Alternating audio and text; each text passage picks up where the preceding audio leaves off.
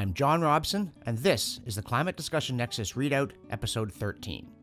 Every Wednesday at CDN, we put out an email called the Wednesday Wake Up, which discusses the big climate news of the past week, significant opinion pieces, and developments in science.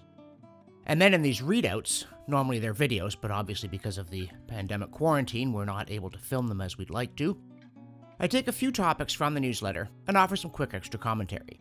For more in depth information, please go to our website, that's climatediscussionnexus.com, subscribe to the Wednesday Wake Up, and check out our blog. And also look at our YouTube channel, that's Climate DN, because there's lots there to share and think about.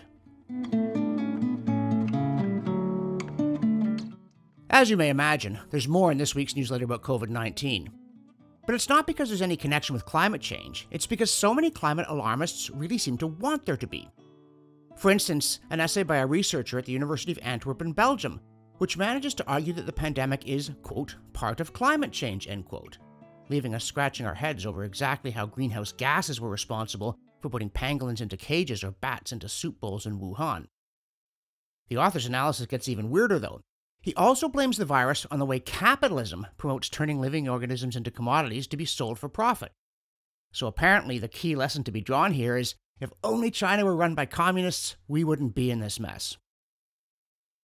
The other connection the alarmists can't leave alone is their sense that the economic lockdown, far from being a devastating threat to people's livelihoods and well being, is a happy glimpse of the utopia they have in store for us when they're put in charge.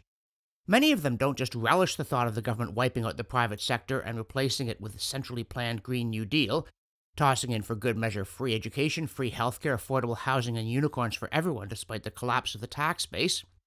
They think people's experience of the pandemic lockdown will make them relish it too. And there's a curious paradox here. Climate activists apparently regard the private economy as infinitely productive and resilient, resistant to any wrecking ball they might swing at it, despite their being ostensibly opposed to it for some reason. And yet, their view of nature is the exact opposite. In principle, they claim to regard it as astoundingly dynamic and adaptable. Yet in practice, they say that any minor disruption is going to smash it like a vase. For instance, if one animal is affected negatively by temperature increase, then that whole species is a goner, and then there's going to be a domino effect going from bad to worse as its whole ecosystem is wrecked. It disappears, it takes out its predators, there go its neighbors and the cat down the road. There's a profoundly and consistently illogical streak in this view. Why should it always be the case that every effect of warming is not merely bad in itself, but triggers a cascade of other things, all of which are worse in a self reinforcing rush to catastrophe? Never mind why is no impact of warming ever good. Why does no impact of warming ever cause another effect that damps down the initial impulse instead of amplifying it? What if warming harmed one species but also increased the availability of other prey? What if it killed off some of its predators as well? In principle, a lot of things could happen because of warming, and a theory that always picks the worst one before looking for evidence is not science, it's propaganda. And it's also very predictable.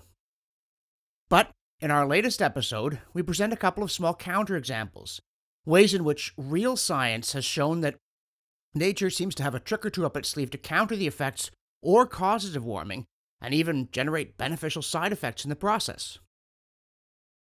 Also, in this week's readout, we have two contests, not one.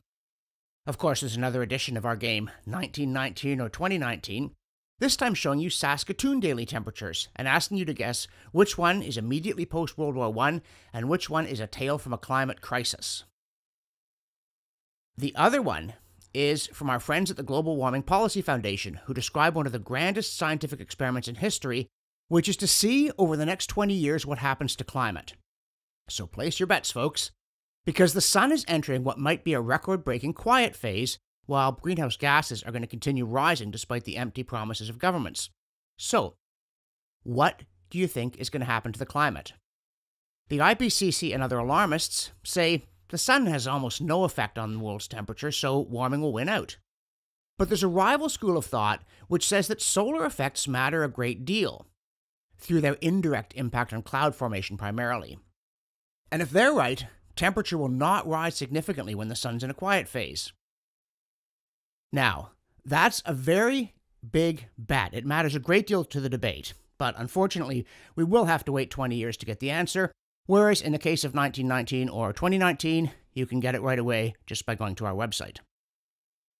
Also, in our science section, there's a description of an interesting paleoclimate reconstruction of temperatures in the Mediterranean region going back into the. What's this? The medieval warm period? Yes, indeed. You know, we hear a lot about how this or that is the hottest year ever from people whose records apparently go back a few decades, or if you're lucky, you know, almost 150 years. So it's refreshing to get this much longer perspective. And it's also striking because the hottest year they found in the region in the period they were studying was 1648. It's a little hard to blame that on greenhouse gases. What's more, the hottest 30 year stretch was from way back in the three digits, from 876 to 905 AD, setting up Athelstan's glorious reign in England. And here's another interesting, even disquieting feature of this temperature reconstruction is that after this record setting warm spell in the 800s that saw the happy reigns of Edward the Elder in England and Charlemagne in the Kingdom of the Franks, aka Roman Empire Mark II, the 900s saw the temperature plunge quickly to the coldest point in the whole record they studied, which certainly seems to undercut all these claims we keep hearing about how we're now seeing faster rates of climate change than ever before, the temperature was stable until we came along and ruined everything, and so forth. The authors also looked at climate model simulations for the whole period and found that not only did they not agree with the temperature reconstructions, they didn't even agree with each other. But remember, other than that, the science is settled.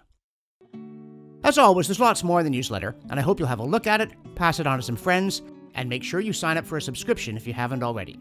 And thanks to the many people around the world who have been letting us know how much our content is appreciated and also helping us to produce it. We really appreciate their feedback, their encouragement, and yes, their support. So, if you have a chance and you haven't already, please visit our donate page. We know times are tough, but if you want to help us push back against bad policy based on bad science at a time when the economy is already in a great deal of trouble, please sign up. Make a small pledge, you know, $2, $5, $10 a month. If you think the content is valuable, please chip in because it makes an enormous difference at our end. And thanks again to the many people who've already done so. For the Climate Discussion Nexus, I'm John Robson.